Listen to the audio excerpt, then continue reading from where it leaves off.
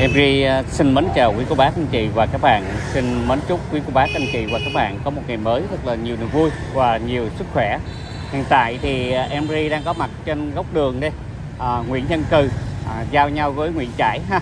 Thì hôm nay em Ri sẽ mời gia đình chúng ta sẽ tham quan khu vực đường à, Nguyễn Trãi này.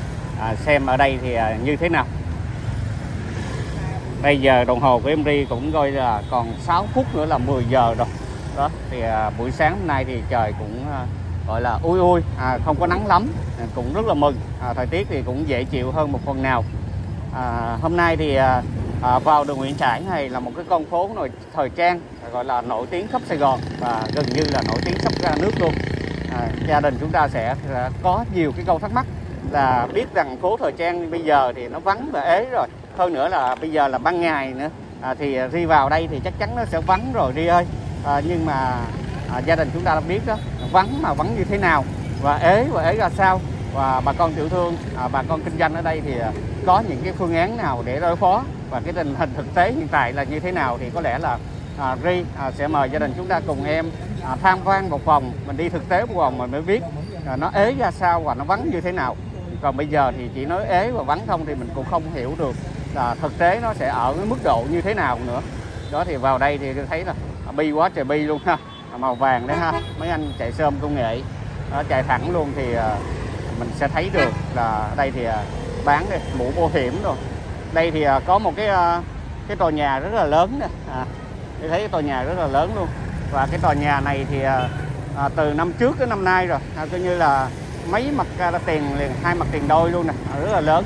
Nhưng mà vẫn chưa thấy có người thuê ha. Bây giờ mặt tiền càng lớn thì à, càng khó khăn. À, kinh doanh thì phải nói là à, tiền thuê mặt bằng thì nó chiếm đâu à, với nhân viên nó chiếm đâu 70 80 phần trăm rồi. Cho nên là người ta cũng rất là ngại cái mặt bằng lớn đặc biệt là trong cái giai đoạn khó khăn này. Thì càng thuê mặt bằng lớn thì à, khả năng thua lỗ càng cao. Tại vì à, à, mặt bằng lớn mà kinh doanh mà mua bán được thì không nói.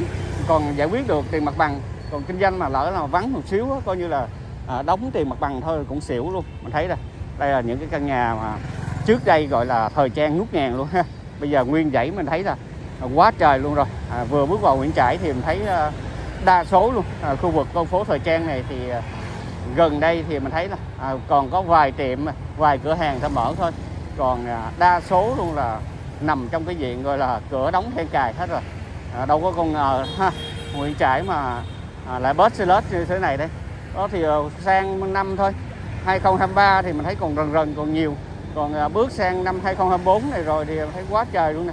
Cửa hàng coi như là người ta gán gồng. Người ta gồng nó bán xong cái tết. À, xong rồi là người ta bỏ người ta chạy luôn. Người ta trụ không nổi thôi mà à, trước tết khi đi thì à, có nhiều chỗ bán 49k 99k luôn. Gọi là à, xả hết xả nghỉ mà. À, đó thì à, bể nợ xả gọi là xả lỗ xả nghỉ luôn. Nhưng mà vẫn không có ai mua không có khách mua. Mình thấy đó thời trang bây giờ là bán rẻ cũng không ai mua. Đây là ngã ba ha của Nguyễn Trãi và Nguyễn Biểu đây. Ở đây có một cái trường đại học rất là danh tiếng à, rất là nổi tiếng. À, đó là Đại học Sài Gòn đây. Một cái trường đại học về Sài Gòn ha. Đây là cái cổng bên à, Nguyễn Trãi đây.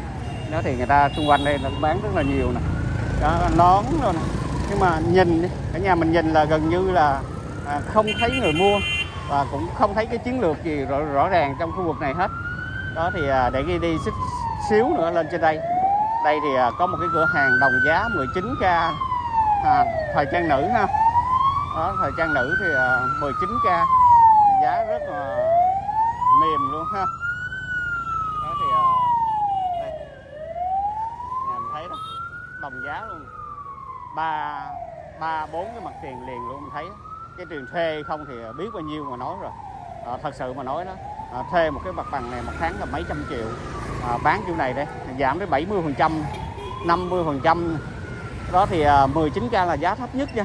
À, đây thì còn ở nhiều cái giá khác nữa. Nhưng mà mình thấy đó à, gần như là mở lớn như vậy đó không có khách. Đó thì à, cũng rất là buồn luôn. À, tại vì à, bây giờ thì buổi nào cũng như buổi nào thôi. Buổi sáng hay buổi tối hay buổi chiều mình đi vào mình cũng thấy là tình hình nó vắng vắng y chang vậy luôn. Rất là người bán thì gần gần nhưng mà người mua thì không có. Đó thì à, nguyên một cái à, nhà hàng đi rồi à, à, quần áo xuất khẩu đó. đó giờ là nó cũng bỏ chạy hết trơn rồi. Phải nói là đến cái giai đoạn à, đầu năm 2024 đây thì quá nhiều rồi. À, quá nhiều cái cửa hàng gọi là à, trù không nổi nó dẹp tiệm. Đó à, dẹp tiệm mà dẹp tiệm quy mô lớn luôn ha nguyên dãy luôn nè. Thấy uh, rất rất là buồn luôn à, cho cái tình cảnh hiện tại như thế này. Đó kinh doanh mà đâu có ai ngờ đâu. À, Nguyễn Trãi ha Nguyễn Trãi quá trời nổi tiếng gồng quá trời gồng. Rồi rốt cuộc là bây giờ thì uh, chuyển sang năm 2024 này rồi uh, coi như là tè le học me hết trơn rồi. Bỏ chạy rất là nhiều luôn. Đây. Ờ, quá trời khó khăn luôn ha. Nhìn rất là buồn. Đó thì những cái anh chạy sơm công nghệ bây giờ thì cũng ngồi chơi hết trơn rồi. Không có khách mà. Bán quần áo quán giày luôn bây giờ thì đi đoạn này gia đình chúng ta mới thấy là lèo tèo kinh doanh bây giờ mình thấy còn có mấy tiệm mở cửa đó thì ờ, mới video một đoạn thôi một đoạn đầu thôi chưa có nhiều. Nhưng mà thấy là đóng cửa gần như là 70 phần trăm rồi còn có 30 phần trăm à, cửa hàng gọi là còn duy trì được thôi. Ờ, thấy đó mới vô đầu năm mà đã này rồi thì à, nó cứ vắng và cứ ế kiểu này nữa thì à, đến giai đoạn giữa năm à, cuối năm thì mình không biết là như thế nào luôn. Đây à, những cái cửa hàng mà à, thời trang vô đi rồi bây giờ cũng gọi là te tua tôi đã bớt xe lết hết trơn rồi. vắng rồi là vắng điều vẫn giữ luôn. Kinh doanh bây giờ thì à, thời trang là thua rồi. Bây giờ tất cả gọi là à, phá sản và thất nghiệp à, rất là nhiều. Tiền không có ăn nữa cơm không mua gạo không có nữa. À, tiền đâu mà thời trang.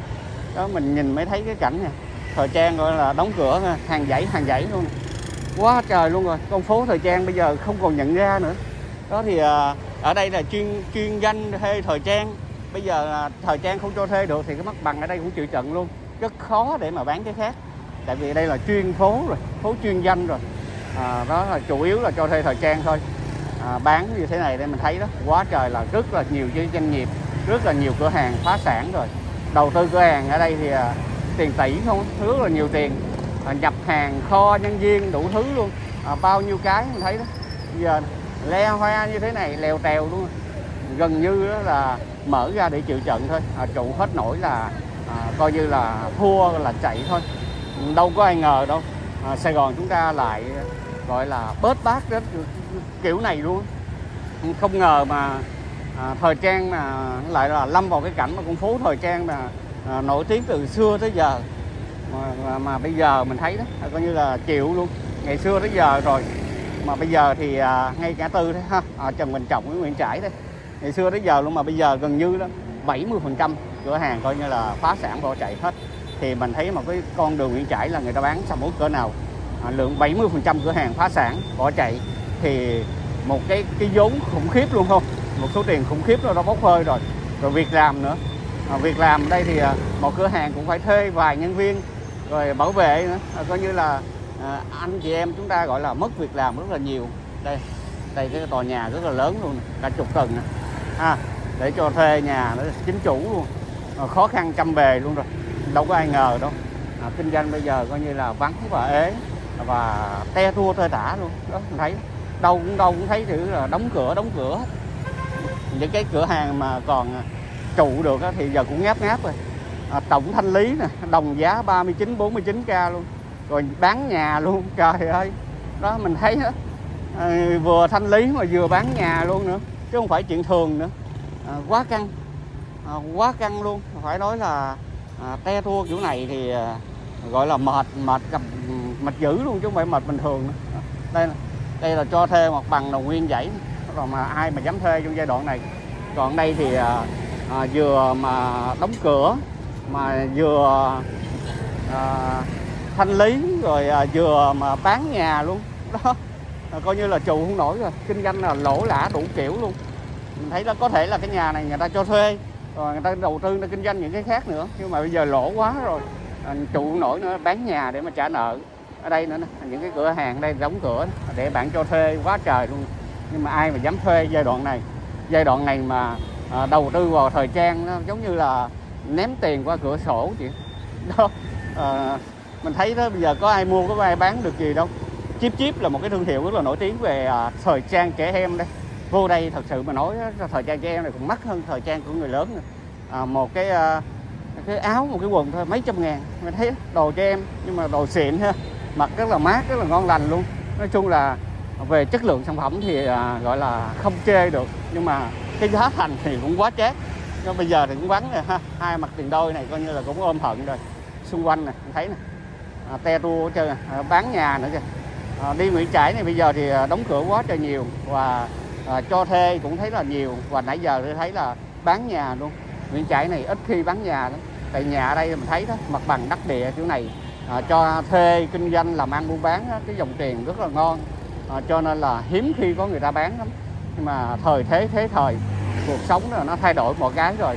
À, bây giờ coi như là mặt bằng đây là không còn thơm nữa không còn ngon như ngày xưa nữa. Đó bây giờ người ta cũng phải là bán luôn. Ờ, gọi là bỏ chạy luôn. Đó mà bây giờ bán thì ờ, ai mà dám mua? Tại vì ờ, bây giờ mua vô là chịu trận luôn rồi. Ở đây là giờ nó vắng chỗ này ế phá sản đầy luôn chỗ này luôn rồi thì à, à, bây giờ mà thâu vô mặt bằng này thì cũng không có cái dòng tiền à, khó khăn trăm bề. À, cho nên là à, vắng thì nó vẫn vắng ế vẫn ế. À, rau bán kiểu nào thì rau nhưng mà người mua thì không có. Thấy những cái tòa nhà này à, đóng cửa quá trời luôn. Đó quán hủ cơm tấm thì à, cũng vắng đây bờ à, Blue Exchange thôi à, Blue Exchange này vắng rồi mà nhìn thấy là tơi tả luôn. Và thời trang bây giờ là mở ra cho có lệ thôi. Mở ra kiểu này thì à, kinh doanh không biết sao nữa. Chậm và te tua bớt xe lết tơi tả đủ kiểu hết. Đó thì đi nãy giờ thì à, nghe xe cứu thương chạy rất nhiều ha. Ở Sài Gòn chúng ta thì à, cứu thương coi như là hú tối ngày luôn. Là à, những cái bệnh nhân ở trong thành phố nè chuyển viện nè hoặc là từ nhà đến bệnh viện nè rồi những bệnh nhân ở tỉnh chuyển lên nữa. Ở đây nè ở đây là Hoàng Phúc bây giờ cũng bỏ chạy luôn rồi quá trời luôn rồi. Những cái tòa nhà cũng khiếp luôn ha. Đó thì à, Hoàng Phúc bây giờ là à, chịu trần không nổi nữa thuê những căn nhà mà ngút trời của này nè. À, bây giờ thì à, à, coi như là cũng thua luôn rồi. Đó Hoàng Phúc bây giờ là rất là nổi tiếng nhưng mà bây giờ thì đâu có chịu nổi đâu. Ba mặt bằng này một cái tòa nhà này tháng thuê cũng năm năm sáu trăm triệu thì à, làm sao mà trụ nổi tình hình này? Khi mà buôn bán thì khi ế vắng đều luôn thấy không? Ba mặt tiền liền của Hoàng Phúc luôn. À, cũng phải chịu trận ha. Khó khăn trăm bề luôn. Bây giờ thì à, đa số luôn. Là từ à, mặt tiền nhỏ mặt tiền lớn à, chuyển lại mặt tiền nhỏ kinh doanh gọi là khó khăn trăm bề luôn. Đây cũng cho thuê nhà nữa thấy quá trời luôn. Đi tới đâu cũng vậy hết trơn mà. Toàn là thấy phá sản bỏ chạy không à, à rất là đau lòng luôn à, với đường Nguyễn Trãi hiện tại. Mình đi mình thấy đó à, quá trời buồn luôn rồi. Nguyễn Trãi là một con phố thời trang gọi là sầm uất bậc nhất của Sài Gòn à, nổi tiếng cả nước. Mà bây giờ thì à, những cái con phố thời trang này nó tiêu điều và nó xuống cấp nặng luôn. Mình thấy đó không còn gọi là thương hiệu thời trang nữa. Bán bây giờ à, những cái shop này mặt bằng nè nhân viên nữa rồi chất lượng sản phẩm nữa mình thấy là à, đẩy lên cái giá rất là cao trong khi bây giờ thì à, à Trung Quốc à, xây nghe nói là xây năm cái tổng kho mà gần biên giới Việt Nam chúng ta và giao hàng trong 24 giờ thôi. Mình thấy đó à, hàng họ thì mẫu mã đẹp nè chất lượng cũng tốt rồi giá thì rất là rẻ luôn. Đó họ có thuê mặt bằng có gì đâu cho bán sỉ trực tiếp luôn à, bán trực tiếp cho người tiêu dùng luôn bán lẻ mà giá sỉ. À, thành ra là bây giờ thì à, những cái shop như thế này à, không cạnh tranh lại à, từ từ là phải rụi theo luôn. Khó khăn đó, bán cái này nhìn quá trời luôn mà người bán luôn mà không thấy người mua mà. Hàng thì chất đống như núi vậy nè nhưng mà bán thì bán không được. Đó hồi nãy là uh, Blue Exchange ha còn bây giờ đây là The Blue đi. À, hai cái thương hiệu này khác nhau ha The Blue nè. Đó thì, uh, thì vẫn vắng ha vẫn ế vẫn đều luôn. Nhìn sale nhìn uh, tơi tả luôn à đây bảo vệ mình không thấy luôn à. ngày xưa thì bảo vệ mấy người đứng để mà giữ xe cho khách. Bây giờ bảo vệ đi đâu mất tiêu hết trơn rồi không thấy luôn. Nó càng lúc thì mình thấy là khó khăn quá. Mình nhìn đây là chủ người ta khổ là bỏ chạy rồi người ta lỗ lã rồi. Rồi à, người lao động thì à, mất việc nữa. À, tìm hoài tìm ra việc. À, nhìn rất là buồn luôn ha. À, quá thảm cho những cái hoàn cảnh như thế này. Kinh doanh gọi là à, eo xèo đủ kiểu luôn rồi. À, quá là te tua luôn. Đây là ngay ngã tư ha của Lê Hồng Phong và Nguyễn Trãi đấy đi chạy thẳng đường Nguyễn Trãi luôn. Phụ kiện à, điện thoại di động luôn à, coi như là tiêu trận trong cái giai đoạn này hết rồi. Bớt gọi là bớt dữ luôn chứ không phải bớt dừa ở à, đây là một cái căn nhà nữa. Cho thuê nữa. Quá trời luôn. Cái nhà này à, năm sáu tầng luôn rồi cái nhà mình thấy nó đó rồi để cho thuê nhà. À, đó khó khăn. Phải nói là kinh doanh mua bán giờ là chậm chậm quá trời chậm luôn rồi. À, chậm dữ và chậm đều luôn. Đó mấy anh này à, gọi là ngoắt hàng vô à, để mà à, tìm khách đó mình chạy chậm chậm đó. họ tưởng là mình là cái người mà đi mua đồ đó. Thời trang bây giờ mình thấy quá cái tòa nhà này bảy tám tầng này đó cũng cho thuê nhà nguyên căn nữa. À, chết ngắt hết trơn luôn rồi. Mình thấy xe tua tôi đã hết trơn. Và gần như luôn là ghi đi nguyên một cái đoạn đường luôn là không thấy người mua. Buổi nào cũng vậy hết trơn mình nhìn thấy cái tình cảnh là bà con bây giờ là gần như là mở ra là chịu trận thôi. Mở ra là cho qua ngày đoạn tháng thôi chứ giờ không biết sao chứ. Khó khăn trồng chất khó khăn luôn. Đó thì mình thấy rất là khổ rất là tội ha. Tình hạnh kinh doanh bây giờ thì à, xe tua tơi tả bớt xe lết nhìn à, không ngờ cái đường Nguyễn Trãi. Phố thời trang Nguyễn Trãi mà giờ đóng cửa gần 70 phần trăm. Thì còn gì gọi là phố thời trang nữa. Phố thời trang Nguyễn Trãi mà giảm 20 30 phần trăm là thấy nó là eo xèo rồi. Giảm 50 phần trăm là thấy nhìn không ra rồi. Mà giờ giảm tới 70 phần trăm thì à, à, cái sức gọi là tàn phá gọi là khủng khiếp. Giống như chợ truyền thống. Bây giờ ngày xưa bán 10 thì giờ à, bán được 23 à, còn không được 23 nữa. Tức là bây giờ à, chợ truyền thống thì cái lượng khách nó giảm đi 70 80 phần trăm. Thì ở đây thì mình thấy đó mà bà con còn duy trì lại được còn cố gắng trụ lại được còn bây giờ là phố thời trang mình thấy đó cái lượng khách giảm khủng khiếp luôn. Ngày xưa 10 giờ chắc còn là một à. Cho nên là quá nhiều cái shop quá nhiều cái cửa hàng sụm nụ gọi là sụm nụ trà le học me luôn chứ không phải sụm nụ bình thường. Đó nhìn là vắng vắng te tua tơi tả luôn ha. Rất là buồn cho những cái hoàn cảnh kinh doanh như thế này.